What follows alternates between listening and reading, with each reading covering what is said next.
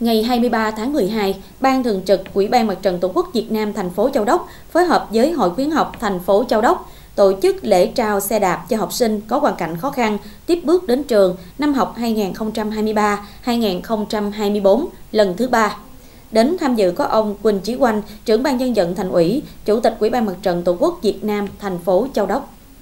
Theo đó, Ủy ban Mặt trận Tổ quốc thành phố Châu Đốc đã trao tặng 10 chiếc xe đạp cho các em học sinh có hoàn cảnh khó khăn với tổng giá trị là 20 triệu đồng do Hội Tương tế Người Hoa, Ban Bảo quản quan đế miếu thành phố Châu Đốc tài trợ. Đây là món quà ý nghĩa nhằm giúp cho các em học sinh có hoàn cảnh khó khăn có thêm phương tiện để đến trường, đồng thời góp phần động viên khích lệ các em tiếp tục dựng bước trên hành trình vượt khó học giỏi, trở thành công dân có ích cho xã hội.